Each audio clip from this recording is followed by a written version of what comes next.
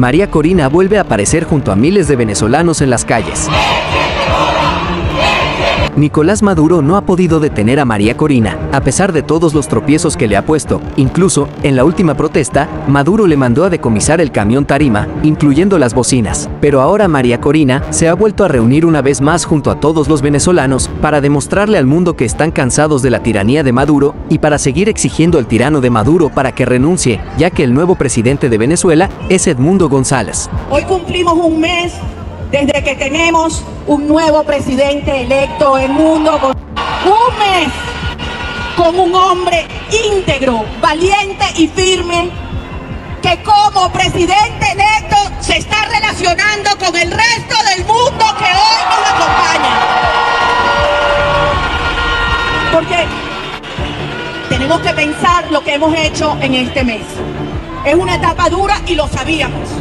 Lo sabíamos lo que venía. Mientras María Corina se reunía ahora 28 de agosto con miles de venezolanos, el dictador Suelo también convocó a una concentración, y así es el ambiente que se está viviendo en dicha concentración de Maduro.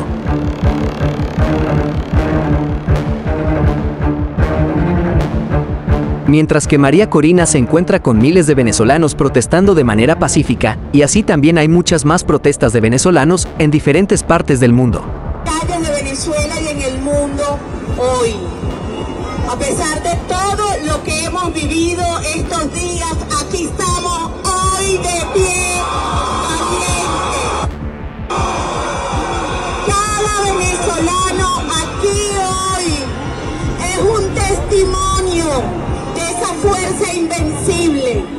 Cada uno de ustedes habla hoy por miles y miles de venezolanos perseguidos que van a ser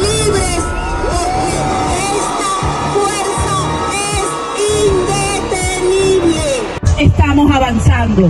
Y ustedes dirán, bueno, pero no estamos todos los días en la calle. No, y no hace falta que estemos todos los días en grandes concentraciones.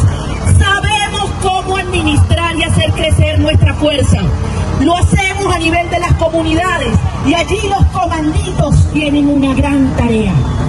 Comunicarnos, que llegue la verdad, que nos defendamos unos a otros, que encontremos la forma de activación y de protesta en la base de la sociedad venezolana, como cuando nos toca encontrarnos así, que también lo seguiremos haciendo cuando cada momento lo exija.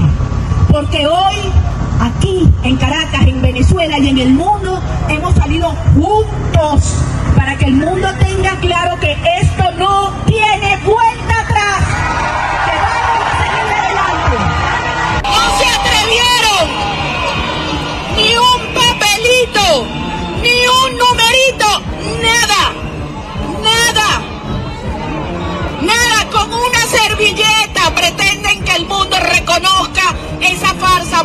Hoy el mundo reconoce la verdad. El pueblo de Venezuela votó por el cambio y Edmundo González Urrutia es nuestro presidente electo.